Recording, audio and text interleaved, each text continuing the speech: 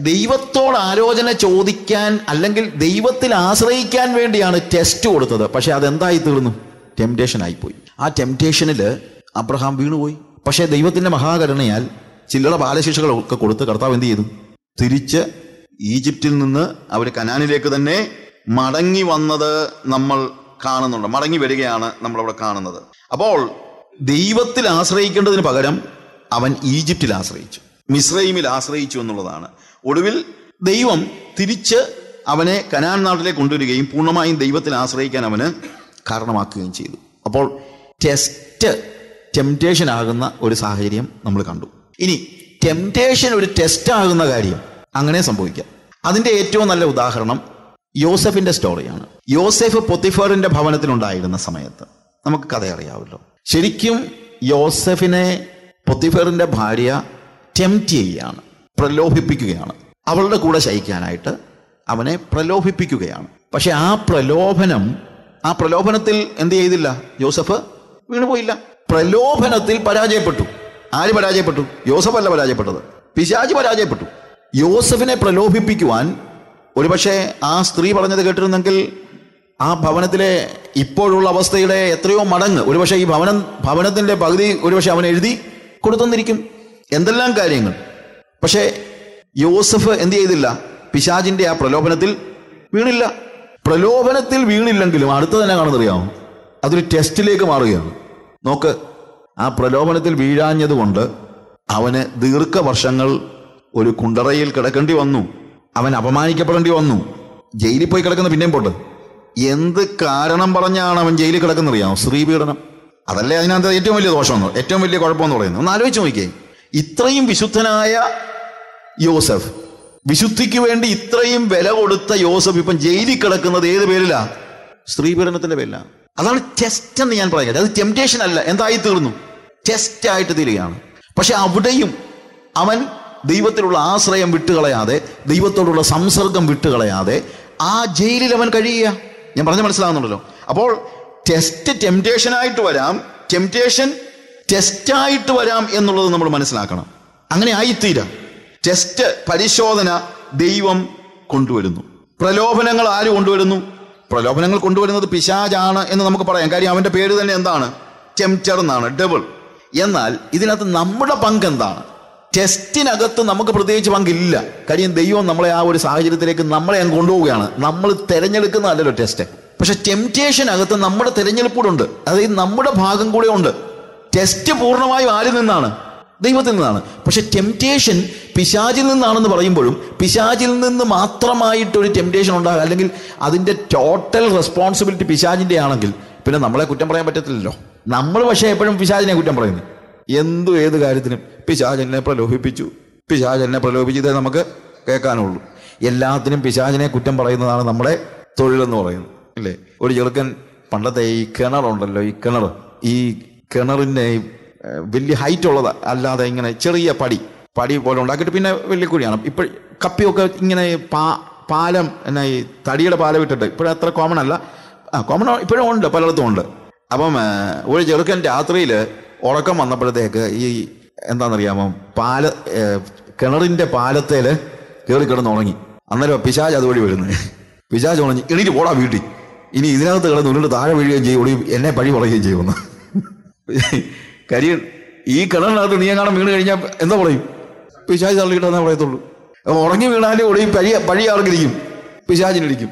എന്ന് പറഞ്ഞതുപോലെ എന്തും ഏത് കാര്യത്തിനും നമ്മൾ ആരെയാണ് പഴി പറയുന്നത് പിശാചിനെയാണ് പഴി പറയുന്നത് അതുകൊണ്ട് എന്ത് പാപം ചെയ്താലും എന്ത് പ്രലോഭനത്തിൽ നമുക്ക് എന്ത് പങ്കുണ്ടെങ്കിലും നമ്മൾ പറയുന്ന എല്ലാം എന്താണ്? പിശാചനെ പറ്റിച്ച് പിശാചനെ പിശാജ് പിശാജ് ഇതേ പറയുന്നുള്ളൂ. പിശാജ് പിശാചിന്റെ ജോലി അത് അവനത് ചെയ്യുന്നു അത്രേ ഉള്ളൂ.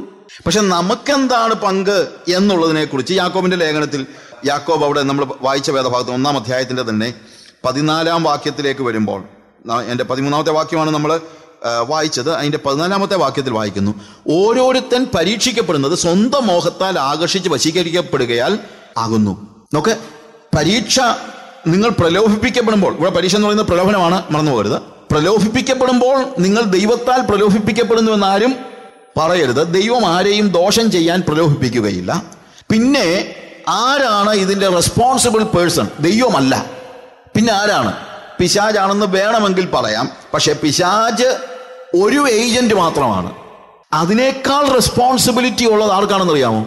നമുക്ക് കാരണം ഓരോരുത്തൻ പരീക്ഷിക്കപ്പെടുന്നത് സ്വന്തം മോഹത്താൽ ആകർഷിച്ച് വശീകരിക്കപ്പെടുകയാൽ ആകുന്നു.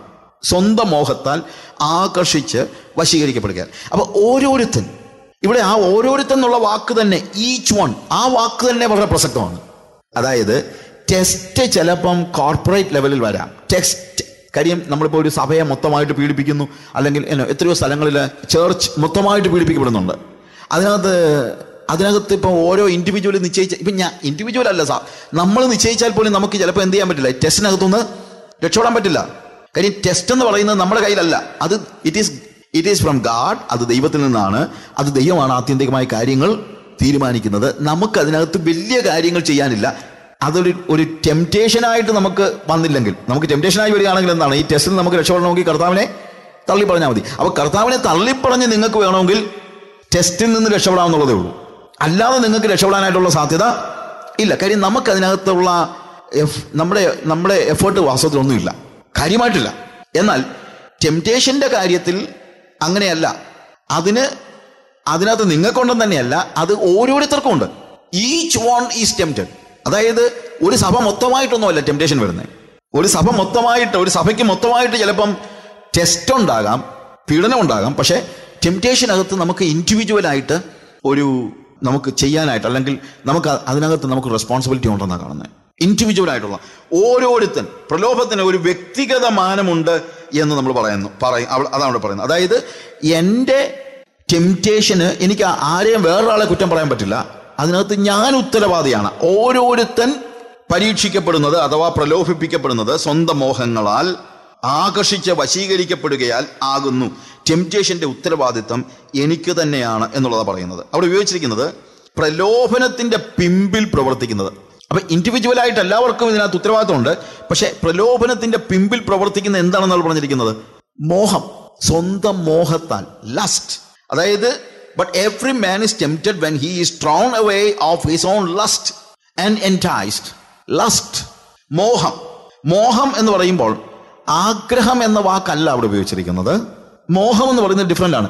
It's it's so different from desire എനിക്കുള്ള ഒരു ഡിസയർ എന്ന് പറയുന്നത് എന്റെ ഒരു ആഗ്രഹം. നമുക്കൊക്കെ ആഗ്രഹങ്ങളുണ്ട് പക്ഷേ ആഗ്രഹങ്ങളെയും മോഹങ്ങളെയും നമ്മൾ ഡിഫറെന്റ് ആയിട്ട് കാണണം. ഞാൻ പറഞ്ഞ് മനസ്സിലാക്കണം. നമുക്ക് ആഗ്രഹങ്ങൾ എന്തെല്ലാം ആഗ്രഹങ്ങളുണ്ട്? ആഗ്രഹങ്ങൾ എന്ന് പറയുന്നത് നോർമലാണ്. എന്ന് തന്നെയല്ല നമുക്ക് നമുക്ക് നമ്മുടെ ആവശ്യങ്ങളിൽ നിന്നാണ് പലപ്പോഴും ആഗ്രഹം എന്ന് പറയുന്നത് ദുരാഗ്രഹം വേറെ. ഇപ്പം ഞാനതിനെ കുറച്ചുകൂടെ സിംപ്ലിഫൈ ചെയ്ത് നോക്കുകയാണെങ്കിൽ ഇപ്പോൾ എനിക്ക് വിശപ്പുണ്ടാകുന്നു. അപ്പോൾ എനിക്ക് ആഹാരത്തോട് ആഗ്രഹം തോന്നുന്നു. അല്ലേ? വിശപ്പ് തോ വരുമ്പോൾ എനിക്ക് ആഹാരത്തോട് ആഗ്രഹം തോന്നുന്നു. എനിക്ക് ദാഹം വരുന്നു. അപ്പോൾ എനിക്ക് വെള്ളം കുടിക്കാൻ ആഗ്രഹം തോന്നുന്നു. അതിനെ നമ്മളങ്ങനെ മോഹമെന്നൊന്നും വിളിക്കേണ്ട കാര്യമൊന്നുമില്ല. ഉണ്ടോ? എനിക്ക് ആഹാരം കഴിക്കാൻ മോഹം തോന്നുന്നില്ല പറഞ്ഞ കാര്യമുണ്ടോ? ഒന്നുമില്ല. അത് നോർമലാണ് അത് ദൈവം വെച്ചതുമാണ്. കാര്യം എനിക്ക് വിശപ്പ് തന്നെ ദൈവം വെച്ചതാണ്. എനിക്ക് വിശന്നില്ലെങ്കിൽ എന്ത് ചെയ്യും? ഞാൻ ഭക്ഷണം കഴിക്കത്തില്ല. നാച്ചുറലി വിശന്നില്ലെങ്കിൽ നമ്മൾ എന്ത് ചെയ്യാൻ പറ്റില്ല മരുന്ന് കഴിക്കുന്നത് ഇപ്പം വിശന്നാലും വിശന്നില്ലെങ്കിലും അസുഖം ഉണ്ടെങ്കിൽ ചിലപ്പോൾ നമ്മൾ മരുന്ന് കഴിക്കുമായിരിക്കും. പക്ഷെ മരുന്ന് കഴിക്കുന്നവരെ നമ്മൾ ആഹാരം കഴിക്കുന്നു അത് നമ്മളുടെ ഈ ആപ്പിറ്റൈറ്റ് ദൈവം എന്ത് ചെയ്തിരിക്കുകയാണ്? നമ്മുടെ ബോഡിയിൽ ഫിക്സ് ചെയ്ത് വെച്ചിരിക്കുകയാണ്. എന്തിനു വേണ്ടിയാ? നമ്മളുടെ ബോഡിയുടെ നീഡ്സ് നമ്മൾ അറിയാത്തപ്പോൾ പോലും എന്താണ്? നമ്മളെ ഓർമ്മിപ്പിക്കുവാനായിട്ട് ദൈവം വെച്ചിരിക്കുകയാണ്. ഹങ്കറും തേസ്റ്റും എല്ലാം അതുപോലുള്ള കാര്യങ്ങൾ. കാരണം എനിക്ക് വിശപ്പില്ലെങ്കിൽ ഞാൻ ആഹാരത്തോട് ആഗ്രഹം ഉണ്ടാകുന്നില്ല. ആഹാരത്തോട് ആഗ്രഹം ഉണ്ടാകുന്നില്ലെങ്കിൽ നാച്ചുറലി ഞാൻ ആഹാരം കഴിക്കാതെ എന്റെ ശരീരം തളർന്നു പോകും ഒടുവിൽ മരിച്ചു പോകും. അതിനാൽ ദൈവം നമ്മുടെ ശരീരത്തിൽ വിശപ്പും ദാഹവും ഒക്കെ വെച്ചിട്ടുണ്ട്. ആ വിശപ്പും ദാഹവും തീർക്കാനായിട്ട് അല്ലെങ്കിൽ അതിനുള്ള അതിന്റെ റിമഡി എന്താണോ അതിനുവേണ്ടിയുള്ള ആഗ്രഹം നമ്മുടെ ഉള്ളിൽ വെച്ചിട്ടുണ്ട്. അതുപോലെ നമുക്ക് ക്ഷീണം ഉണ്ടാകുന്നു അല്ലേ? നമ്മളിപ്പോൾ ഉറങ്ങാതെ ഒത്തിരി ഇരിക്കുകയാണെന്ന് വെച്ചോ നാച്ചുറലി നമുക്ക് ഉറക്കം വരുന്നു. ആ ഉറക്കം വരുന്നതൊന്നും എന്താ ഒരു തെറ്റായ കാര്യമല്ല അതൊരു നാച്ചുറൽ ആയിട്ടുള്ള കാര്യമാണ്. കാര്യം നമുക്ക് വിശ്രമം ആവശ്യമുണ്ട്. വിശ്രമിക്കാനുള്ള നമ്മുടെ ആഗ്രഹം ഉണ്ടാകുന്നു. ക്ഷീണം വരുമ്പോൾ നമുക്ക് നമ്മൾ ഉറങ്ങുന്നു ഏ? അതുപോലെ തന്നെ നമ്മുടെ ബോഡിയുടെ ഡിസയേഴ്സ് ഓരോന്നും നമ്മുടെ ബോഡിക്ക് ആവശ്യമായ ഓരോ കാര്യങ്ങളും നമ്മുടെ കണ്ണുകൾക്ക് ആവശ്യമായത് കാലുകൾക്ക് ആവശ്യമായത് അല്ലെങ്കിൽ അതിനെല്ലാം നമ്മളുടെ ഇപ്പം നമ്മൾ ചിലപ്പോൾ കോട്ടുവായി ഇടുന്നത് പോലും നമുക്ക് ഓക്സിജൻ കൂടുതൽ വേണ്ടി വരുന്ന സമയത്താണ് നമ്മൾ എന്ത് ചെയ്യുന്നത്? അപ്പോൾ അത് നാച്ചുറലി നമ്മളുടെ ബോഡിയിലുള്ള ഒരു ഓട്ടോണമസ് ആയിട്ട് നടക്കുന്ന ഒത്തിരി വർക്കുണ്ട്. ഓട്ടോണമസ് ആയിട്ട് നടക്കുന്നതിന് പകരം അല്ലാതെ ഇന്റൻഷനലായിട്ട് നമ്മൾ ചെയ്യുന്നതായ കാര്യങ്ങളും ഉണ്ട്. അപ്പോൾ ഓട്ടോണമസ് ആയിട്ട് നടക്കുന്ന കാര്യങ്ങൾ അതിനകത്ത് പിന്നെ നമുക്ക് ആഗ്രഹവും മോഹവും ഒന്നും ഉണ്ടാകുന്നില്ല. പക്ഷേ നാച്ചുറലി അങ്ങനെ നടക്കാത്ത ബാക്കിയുള്ള ഭക്ഷണം ഭക്ഷണം കഴിക്കാൻ പറഞ്ഞു കഴിഞ്ഞാൽ ഓട്ടോണോമസ് ആയിട്ട് നടക്കുന്ന കാര്യമല്ലല്ലോ. ഓട്ടോണോമസ് ആയിട്ട് നടക്കുന്ന കാര്യമല്ല. അങ്ങനെയുള്ള കാര്യങ്ങൾ നമ്മൾ എന്ത് ചെയ്യുന്നു? നമ്മളുടെ ആഗ്രഹങ്ങൾ ഉണ്ടാകുന്നു. ഇൻക്ലൂഡിങ് സെക്സ് സെക്സ് എന്ന് പറയുന്നത് നമ്മുടെ എന്താണ് നമ്മുടെ ബോഡിയിൽ ദൈവം വെച്ചിരിക്കുന്നത് എന്തിനു വേണ്ടിയാണ്? അതുകൊണ്ടാണ് മനുഷ്യവർഗത്തിന്റെ ജീവിതം തുടരുന്നത്. അതിനുവേണ്ടി ദൈവം വെച്ചിരിക്കുന്ന. നമ്മുടെ ശരീരത്തിൽ ദൈവം വെച്ചിരിക്കുന്ന ആഗ്രഹങ്ങൾ. എന്നാൽ ആ ആഗ്രഹങ്ങൾ നിറയ്ക്കേണ്ടത് എങ്ങനെയാണെന്നുള്ളതും ദൈവം വെച്ചിട്ടുണ്ട്. അതിനെ വേറൊരു രീതിയിൽ ചെയ്യുമ്പോഴാണ് പ്രോബ്ലം ഉണ്ടാകുന്നത്. അതായത് വിശപ്പിന് ഭക്ഷണം കഴിക്കുന്നതിനകത്ത് പ്രശ്നമില്ല. ദാഹിക്കുമ്പോൾ വെള്ളം കുടിച്ചു കഴിഞ്ഞാൽ ഒരു പ്രശ്നവുമില്ല ഒരു ജ്യൂസ് കുടിച്ചാലും പ്രശ്നം ഉണ്ടാകുന്നില്ല. വിശ്രമം വരുമ്പോൾ ഉറങ്ങുന്നതിനകത്ത് പ്രോബ്ലം ഉണ്ടാകുന്നില്ല. സെക്സിന് വേണ്ടി ദൈവം വെച്ചിരിക്കുന്നതാണ് വിവാഹ ജീവിതം എന്ന് പറയുന്നത്. അങ്ങനെ ഓരോരോ കാര്യങ്ങൾക്ക് വേണ്ടിയും നിയമപരമായി ദൈവികമായി ഒരു റിമഡി അല്ലെങ്കിൽ ഒരു എന്താണ് അതിനുള്ള നിറവ് ദൈവം വെച്ചിട്ടുണ്ട്. എല്ലാ കാര്യങ്ങൾക്കും വെച്ചിട്ടുണ്ട്. എന്നാൽ അത് വിട്ട് പെർവേർട്ടഡ് ആയിട്ട് എന്തെങ്കിലും കൊണ്ട് ഇതിനെ സംതൃപ്തമാക്കാൻ അല്ലെങ്കിൽ വഴിതെറ്റിയ രീതിയിൽ വഴിവിട്ട രീതിയിൽ അതാ പെർവേഷൻ എന്ന് ഞാൻ ഉദ്ദേശിച്ചത് വഴിവിട്ട നിലയിൽ നമ്മുടെ ബോഡിയുടെ ആഗ്രഹങ്ങളെ സഫലീകരിക്കാൻ നോക്കുമ്പോൾ നമ്മൾ പാപത്തിൽ വീഴുകയാണ്. അതിനെയാണ് വാസ്തവത്തിൽ മോഹം എന്ന് പറയുന്നത്. അതായത് ദൈവം നമ്മുടെ ശരീരത്തിൽ വച്ചിരിക്കുന്ന സ്വാഭാവികമായ ആഗ്രഹങ്ങൾക്ക് ദൈവികമായ നിലയിൽ സ്വാഭാവിക നിറവ് നൽകേണ്ടതിന് പകരം വഴിവിട്ട നിലയിൽ പെർവേർട്ടഡ് നിലയിൽ അതിനെ പൂർത്തീകരിക്കുവാനും പൂരീകരിക്കുവാനും നോക്കിക്കഴിഞ്ഞാൽ അതിനെയാണ് മോഹം എന്ന് നമ്മൾ പറയുന്നത്. ആഗ്രഹത്തിന്റെ വഴിവിട്ടുള്ള കുതിച്ചുപായലാണ് ശരിക്കും മോഹം.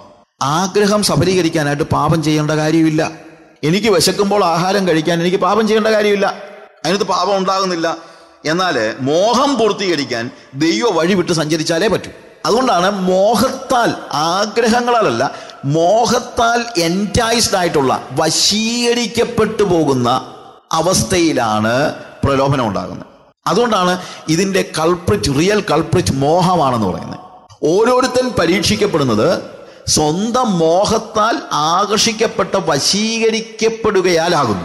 അതുകൊണ്ട് ആഗ്രഹത്തെ മോഹമാക്കുന്ന പൈശാചിക തന്ത്രത്തെക്കുറിച്ച് നമുക്ക് തിരിച്ചറിവുണ്ടായിരിക്കണം.